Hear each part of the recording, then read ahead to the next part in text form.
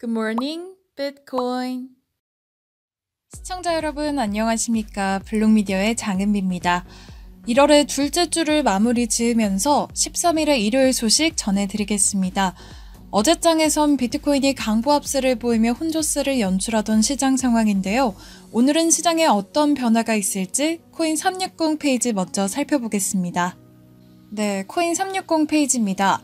오늘은 다시금 비트코인이 약보합세로 돌아서면서 지금 비트코인을 필두로 리플과 이더리움 모두 약세를 보이고 있고요.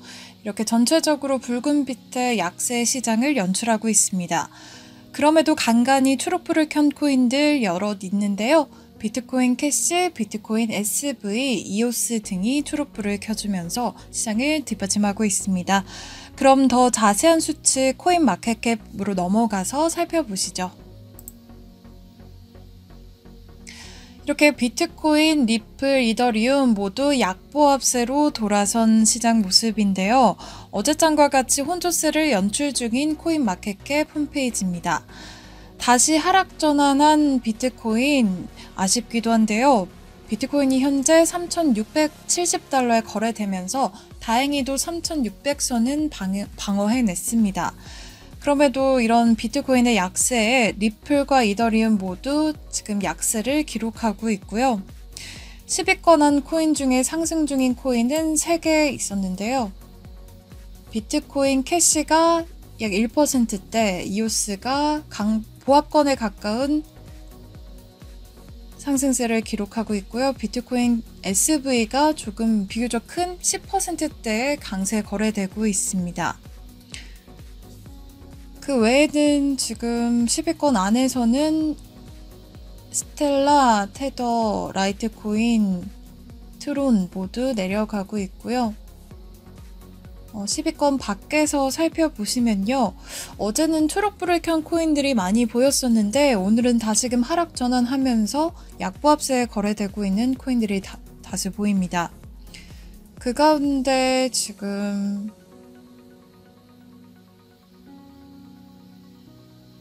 퀀텀 코인이요. 7%대의 강세에 거래되고 있는 게 눈에 띕니다. 네, 이렇게 약세가 두드러진 혼조세 시장이 연출되고 있는데 이러한 시장 분위기 속에서 암호화폐 시장의 몸집에도 약간의 변화가 있었습니다. 지금 암호화폐 시장의 시가총액은 어제보다 약 10억 달러 줄어든 1223억 달러에 거래되고 있고요. 비트코인의 시장 내 비중은 어제장과 같은 52.4%를 차지하고 있습니다. 자, 그럼 조정된 거래소 순위도 한번 살펴보시죠. 아, 이제 조정된 거래소 순위로 넘어가시면요. 어제처럼 거래량을 줄인 거래소들의 모습이 다수 연출되고 있습니다. ZB.com 거래소가 이 가운데 약 10%대로 강세를 보이면서 거래량 늘려가고 있고요. 그 외에는 10위권 안에서는 엘뱅크가 보합권에 가까운 네, 그 강보합권을 보이면서 거래되고 있습니다. 어제장에서는 강보합세를 보였던 아이닥스 거래소가 오늘 다시금 하락 전환하면서 약 18%로 약세를 보이며 거래량 줄여나가고 있습니다. 네, 이제 우리나라의 업비트 한번 살펴보시면요. 이렇게 쭉쭉 내려가야 하는데요. 어제장보다 더 순위가 내려가서요. 현재 21위에 랭크되어 있고요. 31%의 약세에 거래되고 있습니다. 자, 이제 빗썸의 거래소로 넘어가 보시죠.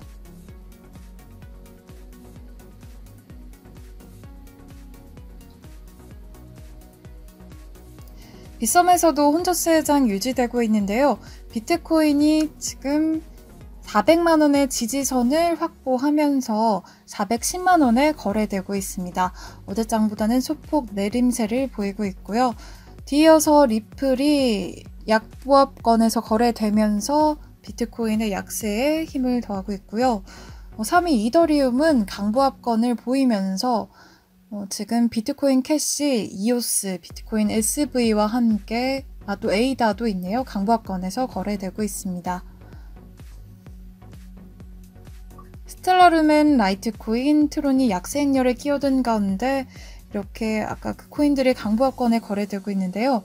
아래로 내려가시면요. 오르락내리락 혼조세의 장이 연출되고 있는 가운데 퀀텀 코인이 약 6%대의 강세에서 거래되고 있습니다. 아, 그럼 업비트의 상황도 비슷할까요? 업비트에서는 410만원 선에서 약간 내려간 409만 8천원에 거래되고 있고요. 전일 대비 0.05%, 0.7% 내린 수치입니다. 이제 오른쪽에 알트코인들 살펴보시면요.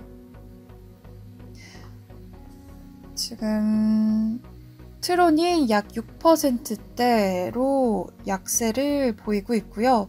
그 외에는 이더리움, 리플, 또 어, 여기서는 에이다가 약보합권에 거래되고 있네요. 스텔라 루멘 등이 약보합권에서 거래되고 있습니다.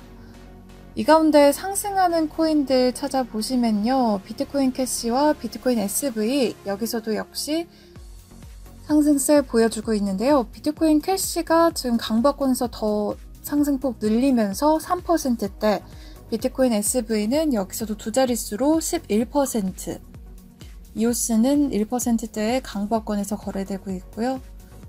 네, 이렇게 강세를 보이고 있는 코인들 짚어드렸는데 퀀텀이 여기서도 6%대의 강세에 거래되고 있습니다. 이렇게 어제장에 비해서 오늘의 시장도 큰 변화 없이 소폭의 오름세와 내림세 속에서 거래되고 있는데요. 아쉬운 점은 어제 다시금 상승 조짐을 보였던 비트코인이 다시 소폭 내려갔다는 겁니다. 그럼 오늘도 역시 여러 시장의 이슈들 살펴보시면요. 첫 기사로는 뉴스BTC에 실린 블룸버그의 기사 함께 살펴보실 텐데요. 기사 제목으로 비트코인 고래가 깨어나고 있다. 이 고래들이 비트코인 가격에 어떠한 영향을 줄 수 있는가? 이렇게 적혀 있는데요. 기사의 주요 골자에 따르면 비활성화됐던 비트코인 지갑이 다시금 활성화됨에 따라 비트코인 가격에 긍정적인 영향을 미칠 수 있다고 합니다. 블룸버그에 따르면요. 미국의 암호화폐 평가 스타트업인 플립사이드 크립토의 데이터를 인용했는데요. 그 데이터에 따르면 장기 휴면 상태였던 비트코인 지갑이 다시금 활발히 거래되고 있다고 밝혔습니다. 플립사이드 크립토는 현재 상당수의 비트코인 고래들이 2년 반에서 6개월 전까지 비트코인 지갑 거래가 이뤄지지 않는 비활성화 상태였는데 최근 비트코인 고래들의 지갑이 비트코인에서 이동되는 것을 포착했다고 전했습니다. 이 움직임은 작년 10월에 시작됐고 올해인 2019년에 들어서면서 비트코인의 순환 공급의 60%가량이 활성화된 비트코인 지갑에서 이루어지고 있다고 기사는 전했습니다. 이에 대해 플립사이드 크립토사의 데이터 과학 수석인 에릭 스톤이 비트코인 지갑의 거래가 다시 활성화된 것은 확실히 큰 변화이며 스톤은 비트코인 지갑이 활성화됨에 따라 비트코인 가격에 큰 변화가 왔다고 밝혔는데요. 향후 평소보다 더 큰 비트코인 가격 변동의 가능성도 있다고 밝혔습니다. 코인 텔레그래프에도 같은 내용이 실렸는데요. 이 그래프를 살펴보시면요. 작년 10월을 기점으로 비활성화됐던 이 비트코인 지갑들의 수가 확 줄어들면서 다시금 활성화되고 있는 움직임 살펴보실 수 있습니다. 플립사이드사는 작년 10월을 기점으로 32개의 가장 큰 비트코인 지갑에 대한 연구 결과를 발표하기도 했는데요. 해당 32개의 지갑들의 가치는 37억 달러 상당으로 100만 비트코인에 해당한다고 합니다.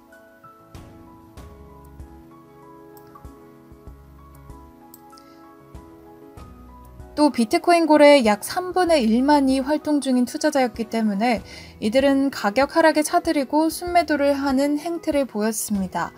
따라서 플립사이드에서는 소위 이러한 고래들이 가격 변동성에 책임이 없다고 결론 지었습니다. 한편 비트코인 고래가 어디서 유래됐는지 궁금하실 텐데요. 블룸버그에 따르면 약 1000개의 암호화폐 지갑 주소가 비트코인의 85%를 차지하면서 밀집된 소유권을 보유한 큰 손이 등장했는데 이 큰 손들을 비트코인 고래라는 별명을 붙여줬다고 합니다. 그럼 비트코인 지갑에 대한 기사는 여기까지 살펴보시고요. 다음 뉴스로 넘어가서 코인 텔레그래프입니다. 증권형 ICO에 관한 소, 식인데요 미국 SEC가 2018년 제출한 비공개 보고서에 따르면 증권형 ICO가 550%의 상승세를 기록했다고 합니다. 꽤 큰 수치인데요.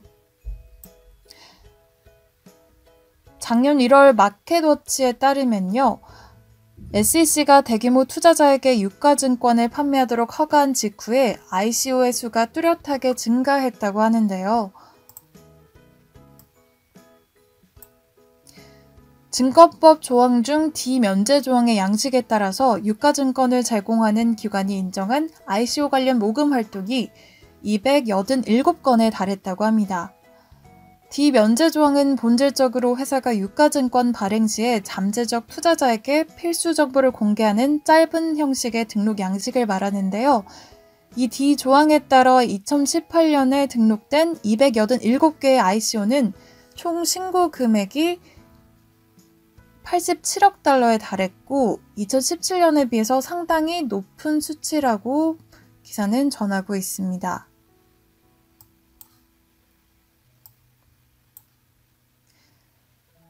287개의 ICO의 합계 가치는 2017년 기준 550% 상승한 수치를 나타냈습니다. 기사 제목에 적혀 있던 수치죠.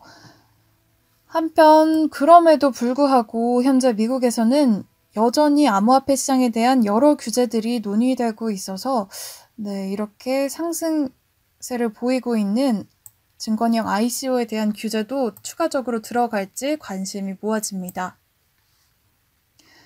다음으로는 CCN의 기사 전해드릴 텐데요. CCN에 따르면 미국 세인트루이스 연방준비위원회가 비트코인의 가격 하락 요인으로 알트코인의 증가를 꼽았다고 합니다.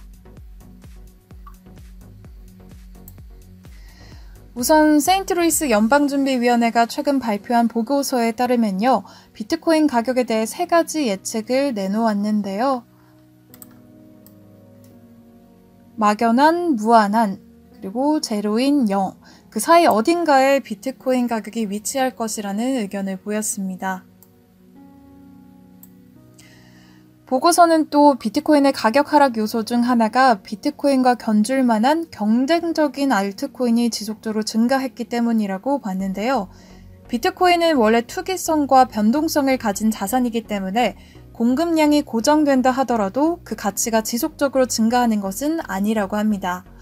그러면서 알트코인의 수가 증가하면서 일부 자본이 새 알트코인 시장으로 이동을 했기 때문에 이 원래 비트코인의 가격이 하락했다고 기사는 보고 있습니다. 마지막으론 미 항공우주국인 나사의 소식 살펴보면서 기사 마무리 지으실 텐데요. 미 항공우주국인 나사가 블록체인을 활용한 항공교통 시스템 제안서를 발표했습니다. 나사는 이에 앞서 작년 4월에 우주 탐사에 이더리움의 블록체인 기술을 활용한다고 밝히기도 했는데요. 나사는 지난 1월 10일 자사 홈페이지에 오픈소스 블록체인을 활용해서 항공교통 서비스에서의 보안 및 익명 통신을 가능케 하는 방법을 공개했습니다. 나사에 따르면 해당 시스템을 활용할 경우 보안 통신을 사용할 수 있는 고대역 통신 채널을 제공할 수 있다고 하는데요. 한편 미국 모건크릭 디지털 에셋의 창업자인 앤서니 팜플리아노가 본인의 트위터 계정에 이번 주 암호화폐 업계 주요 이슈 6개를 선정했는데 그 중 하나가 이 나사가 블록체인 기술을 도입했다는 내용이었기 때문에 마지막 뉴스로 주목할 만한 이슈를 꼽아봤습니다. 자, 큰 변화 없이 조용히 마무리 짓고 있는 이번 주 주말 시장. 대장코인 비트코인도 이렇게 보합권을 오가면서 큰 움직임을 보이고 있지 않은 상태인데요. 앞으로 많은 이슈가 시장의 변화를 가져다 줄 텐데 이번 주말장과 같이 조용한 주말이 지나간 이후에는 다시금 좋은 변화가 찾아와 주길 기다리겠습니다. 그럼 저는 여기서 인사드리겠습니다. 아침 공기가 차가운데 감기 걸리시지 않게 아침 저녁으로 따뜻한 외투 꼭 챙기시길 바라겠습니다. 시청해주신 여러분 고맙습니다.